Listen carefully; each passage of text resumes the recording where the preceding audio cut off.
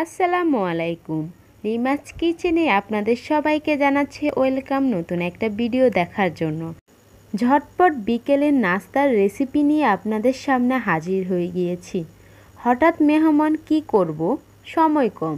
সেক্ষেত্রে কীভাবে অল্প সময়ে এই মুগলাই তৈরি করা যায় তার রেসিপিটাই আজকে আপনাদের সামনে নিয়ে হাজির হয়ে গিয়েছি। যারা এখনও আমার চ্যানেলটি সাবস্ক্রাইব করেননি, প্লিজ করে নিন।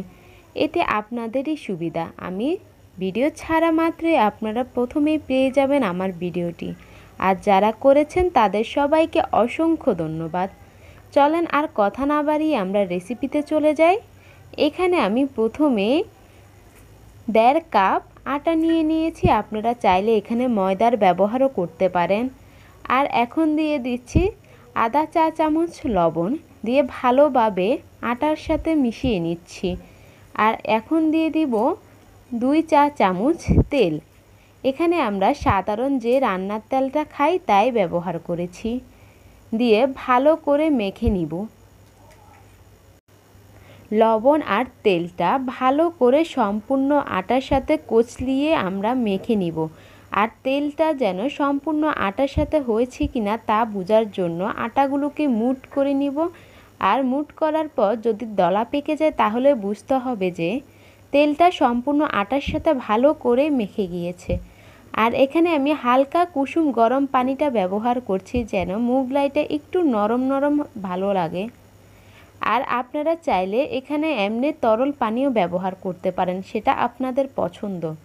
এখানে আমি প্রায় আধা কাপ পানি দিয়ে ভালো করে আটাটাকে মলে নিয়েছি।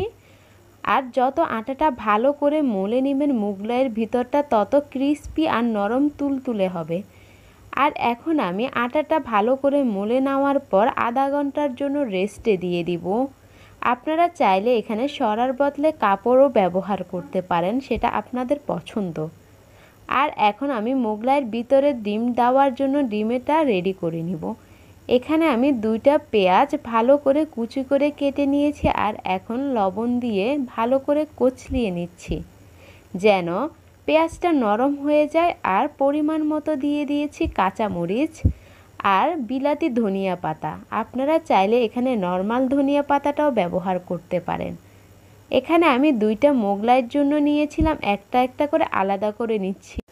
প্রথমে আমি প্রথম মোগলাইটার জন্য ডিমটা রেডি করব, পরে আমি পরেরটার জন্য রেডি করব। ভালো করে আমি ডিমের সাথে পেঁয়াজ, কাঁচামরিচ, ধনিয়া পাতাটা মিশিয়ে নিচ্ছি।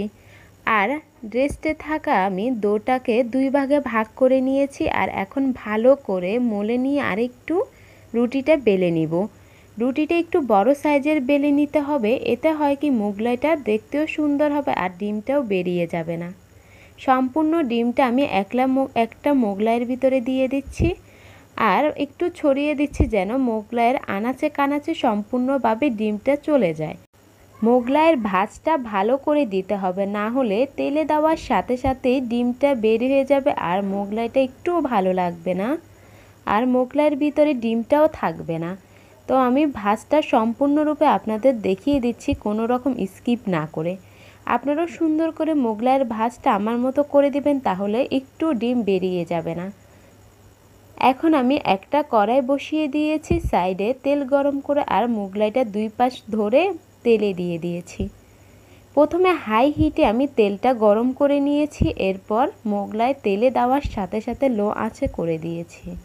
যেন মোগলাইয়ের আটাটা আর ভিতরের ডিমটা সম্পূর্ণভাবে সুন্দরভাবে হয়ে যায়। কোনো অংশে কাঁচা না থাকে।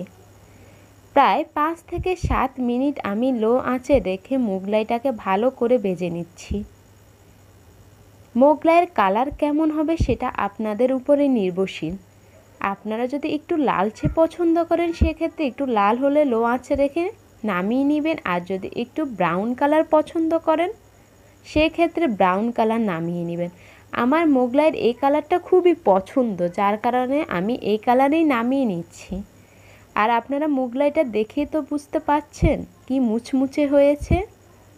আর মুচমুচে মুগলাইয়ের জন্য একটু লো আঁচে রেখে মুগলাইটা ভালো করে বেজে নিতে হবে। এখন আমি মুগলাই পিচ করে নিয়েছি। আমার একটা মুগলাই ছয়টা পিচ হয়েছে বড় বড় সাইজের। আর ভিতরে দেখেন সম্পূর্ণ ডিমটাও কত সুন্দর হয়ে গিয়েছে। কোনো অংশে কাঁচাও নেই। আর আপনারা চাইলে মুগলাইটা সার্ভ করতে পারেন শসা, পেঁয়াজ, কাঁচামরিচ দিয়ে। আমি শুধুমাত্র পেঁয়াজ দিয়ে সার্ভ করব। আর আমার রেসিপিটা যদি ভালো লাগে অবশ্যই জানাবেন কেমন হয়েছে। আপনাদের একটা কমেন্ট আমাকে সামনে ভিডিও করতে অনুপ্রাণিত করে। আজকের মতো বিদায় নিচ্ছি।